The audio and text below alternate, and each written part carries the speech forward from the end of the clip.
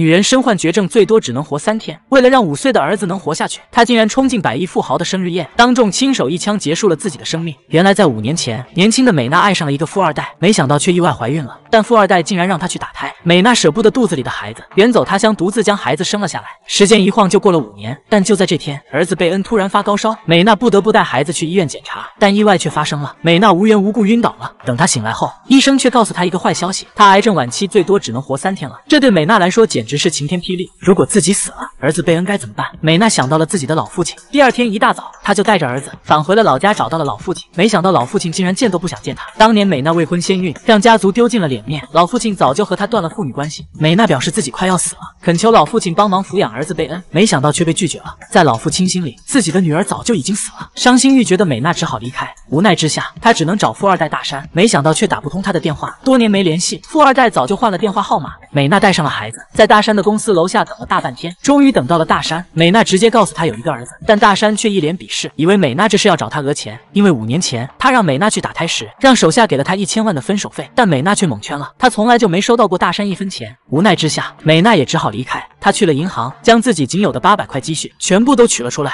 带着儿子去吃他最想吃的东西，看最想看的电影，买最想玩的玩具。美娜希望在这最后的日子里，能给儿子留下最好的回忆，而她能做的也只有这些了。但在临死前，她会用最大的努力给儿子争取一个最好的未来。于是她做了一个大胆的决定。就在这天晚上，美娜收拾好儿子的东西，盛装打扮了一番，她要去见一个最重要的人。贝恩第一次见母亲如此漂亮，但他不知道的是，从此以后他再也见不到母亲了。美娜依依不舍地离开了住了五年的家，这个小家载满了她最幸幸福的回忆。没过多久，美娜带着儿子来到一栋豪华酒店前，她偷偷将儿子留在了大山的车里，并吩咐儿子乖乖等她，她很快就会回来的。临走前，儿子却递给她一个小车玩具，让妈妈早点回来接他。美娜狠下心告别了儿子，紧接着走进了豪华酒店，她直接冲进了大山的生日晚宴，当着所有人的面告诉大山，她有一个五岁的儿子。此刻的大山目光凌厉，他不知道美娜到底有什么目的，但接下来的这一幕却让他终生难忘。只见美娜掏出了手枪，而这一举动立即吓到了所有人，但美娜却将枪口对准了自己。一声枪响后，她彻底了结了自己的生命。她之所以如此做，也只是为了让儿子能好好活下去。